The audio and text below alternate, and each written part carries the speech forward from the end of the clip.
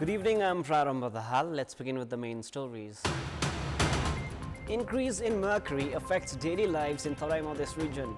Temperature reaching record levels even in the mountainous districts. Daily wage workers worst affected. Lack of trust persists among political parties despite clearance of obstruction at the parliament. Impact of central uncertainty seen also at the provinces. 14 Hong Kong pro-democracy activists found guilty and two acquitted in a landmark subversion trial that critics say could deal another blow to the city's rule of law. And government shows interest towards construction of cricket infrastructures in the country. Ministry for Youth and Sports and the National Sports Council say construction works at TU to begin next week. Highest temperature of the year was recorded in a few cities of the Tarai region today. Mercury read 44.1 degrees Celsius in Dhangadi and Nepalganj, while temperature was higher than 40 degrees in most of the Rai districts. Local residents of these districts barely ventured outside during the day because of excessive heat. The temperature has created challenges for daily wage workers who struggle to make ends meet. In addition to Tarai and Inner Madhes region, public life has also been affected in hilly districts including the Kathmandu Valley. Senior citizens, children and women in their pregnancies have also been affected. Industries, factories and schools have remained closed because of excessive heat. The local residents of the right districts have said that the public have been bearing the brunt because of the government failure to ensure cold drinking water and cooling centers for commuters. In our public voice segment, we have asked in several provinces how have they been going about their lives amid the heat. Let us now take a look at what they had to say.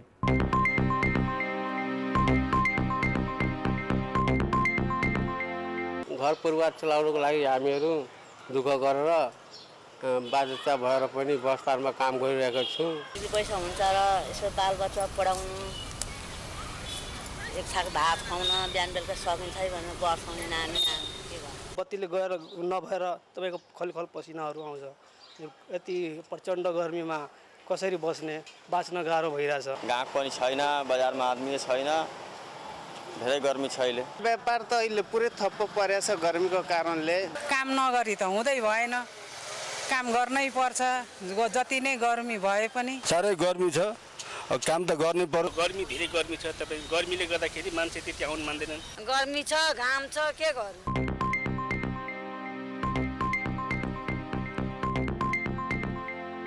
Obstructions at the parliament have cleared following formation of the Parliamentary Probe Committee to investigate the fraud of cooperatives.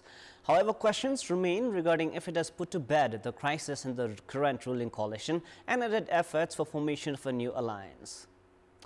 Dilemma of the ruling coalition has surfaced after Prime Minister Pushpakamal Dahal clarified that CPN Unified Socialist would not exist, exit the current alliance. Prime Minister Pushpakamal Dahal meeting main opposition Nepali Congress President Sherbahadur Deuba at his residence in Budhanilkantha, all parties reaching a consensus on formation of a parliamentary probe committee and member of the ruling coalition, CPN Unified Socialist Chairperson Madhav Kumar Nepal holding parleys with opposition parties is being seen with great significance in the political sphere. Nepal holding talks with opposition parties is an evidence to the turmoil in the ruling coalition. Despite the uncertainty among the parties on investigating Deputy Prime Minister and Minister for Home Affairs Ravi Lamichhane now resolved, doubts persist regarding the fraud of cooperatives as this issue could surface again during the probe. While Lamichhane's name has not been included, the probe committee has the jurisdiction of investigating Gorkha media which the Home Minister has been associated with. While Nepali Congress could draw Lamichhane into the investigations, such an attempt would not be acceptable to CPN-UML. If that happens, the ruling coalition is certain to face problems. Meanwhile, Nepali Congress is making all possible efforts to split the current ruling coalition. The main opposition seems to have grown closer to Prime Minister Dahal in context of probe into the fraud of cooperatives. Nepali Congress has also maintained positive relations with CPN Unified Socialist. Statements from Congress leaders regarding possible collaboration with Maoist Center are evidence to the dilemma inside the ruling coalition where Nepali Congress and CPN-UML were making allegations against each other on the fraud of cooperatives, Maoist Center and Unified Socialist preferred to remain silent. Offer of the role of Prime Minister made to Unified Socialist Chair Nepal also shows that there are problems in the ruling coalition. Another unified socialist leader, Jhalanath Khanal, reached Baluwatar to hold talks with Prime Minister Dahal on Wednesday morning. The split of Janata Samajwadi Party Nepal because of dilemma inside the ruling coalition shows that the political course has not come to a pause. The recent developments have shown that the Game of Thrones remains to conclude. No party has a clear majority at the parliament. Political equation has changed three times in a short period of 17 months, while the Prime Minister has had to generate the vote of confidence four times already. While all parties are concerned about the possible change in political equation at any time, none of them accept it in an open manner. Members of Unified Socialist, which is in the government led by Dahal, have been claiming that Nepal would soon be appointed the Prime Minister, which is another evidence to issues in the alliance. If we are to borrow the words of Prime Minister Dahal, political turmoil will continue until he exists and that he would leave no stone unturned to retain power. Such statements from the Prime Minister mean that the lack of trust among the parties will continue to remain. Provincial politics has been increasingly unstable because of the political gambits at the center, raising the risk of a constitutional crisis.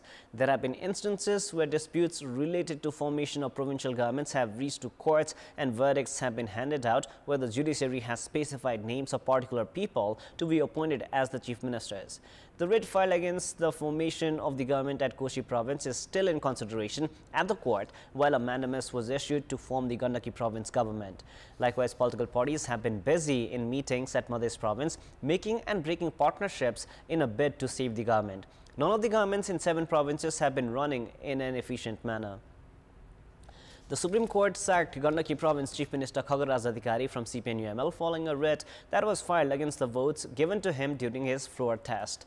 Nepali Congress's Surendra Raj Pandey is having a hard time preparing for his own vote of confidence as the Chief Minister as Supreme Court issued a mandamus to appoint him to the post. The province governments have pending tasks like announcing policies and programs and the budget for the next fiscal on 15th of July. Just like Gandaki, the politics in Koshi province has also been unstable.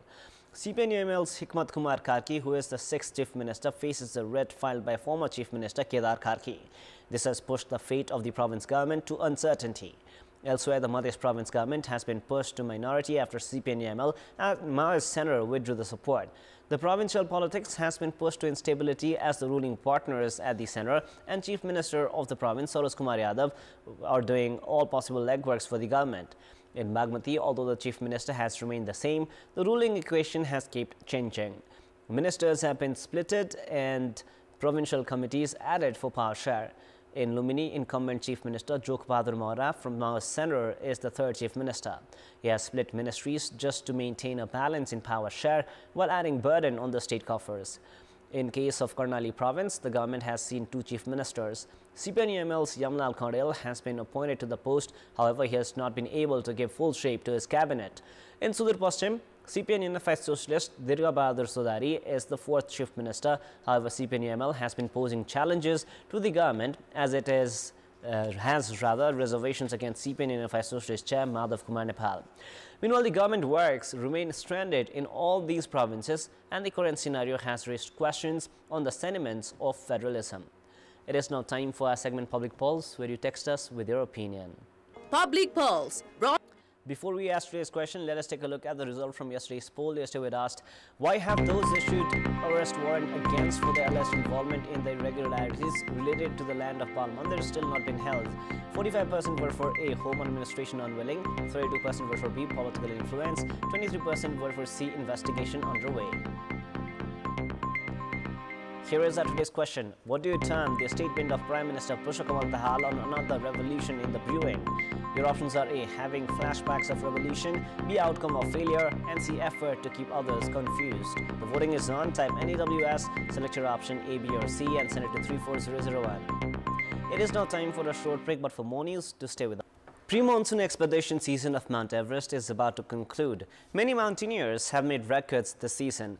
In addition to trained and experienced mountaineers, many tourists across different age and countries have reached the Everest Base Camp this season. Such diverse demography of those hiking and trekking in the Everest region is an evidence to the fact that adventure is not just for the youth. Highest mountain of the world, Mount Everest is a dream destination for most people of the world. Everest is a dream, an adventure, and an accomplishment. Tourists from across the world reach the Everest Base Camp with the objective of reaching the highest peak of the world or the least of making it to the base camp to have a closer view of Everest. Located at an altitude of 5,364 meters above the sea level, the Everest Base Camp witnesses the footfall of people from different parts of the world across different age groups. I am coming with my father, mother, and my brother. We are in a whole family, and I am 10 years old, and I am coming back back from EBC. The Everest Base Camp can be reached after an eight-day trek from Lukla. The enthusiasm and excitement injects energy among everyone. This enthusiasm and excitement lasts until the return to Lukla after making it to the base camp. Tourists of all age groups can be found with such energy. I'm from Seattle, Washington in the United States. I also am 65 years old. We're on a quest to conquer these beautiful mountains in the Himalayas. Everyone has been delightful, uh, engaging, lovely, welcoming.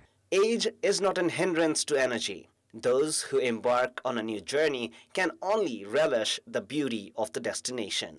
During the process, they learn new languages and become aware about the geography. This adds more value to the experience.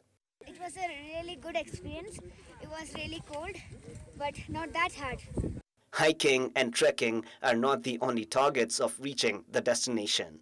They're also the processes of weaving memories along the way and gathering more courage while witnessing the beauty of the immaculate views. Therefore, let age not be an obstacle for us to reach the Everest Base Camp, at least for once in our lifetime. Sports News at a time when the Nepal men's national cricket team are making final preparations for the 2020 Cricket World Cup, the government has shown interest for construction of cricket infrastructures. Budget for the upcoming fiscal year has also prioritized cricket stadiums. Tribhuvan University International Cricket Grounds has made great contributions for Nepal's journey to the World Cup. With the success earned by the players, the venue has drawn attention of the government as well. The government has included Mulpani Cricket Stadium, Gautam Buddha Cricket Stadium, Phapla Cricket Ground and Girija Prasad Cricket Stadium alongside the TU International Cricket Ground in the budget. Minister for Youth and Sports Biraj Bhakta Shrestha and National Sports Council Member Secretary Lal Ghising took stock of the Tribhuvan University International Cricket Grounds and said that required construction works would begin next week.